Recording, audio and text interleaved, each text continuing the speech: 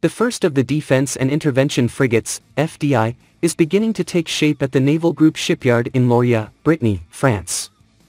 Six months after its keel laying, December 16, 2021, the hull of Amiral Ronarc'h is fully assembled with some of its structures already in place.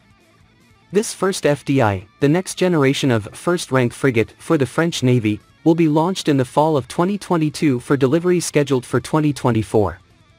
Five FDI frigates intended will be ordered by the French Defense Procurement Agency, DGA, for the French Navy.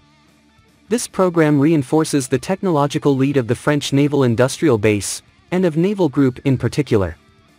On March 24, 2022, Greece and Naval Group signed the contracts for three FDIHN frigates, plus one optional, and their in-service support.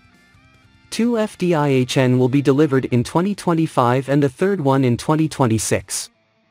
The FDI frigate is a 4,500-ton class high-sea warship. Multipurpose and resilient, she features high-level capabilities in all warfare domains. Strongly armed, Exocet MM-40B3C anti-surface missiles, Aster anti-air missiles, MU-90 anti-submarine torpedoes, artillery, the frigate is able to embark simultaneously a helicopter and an unmanned aerial vehicle, UAV.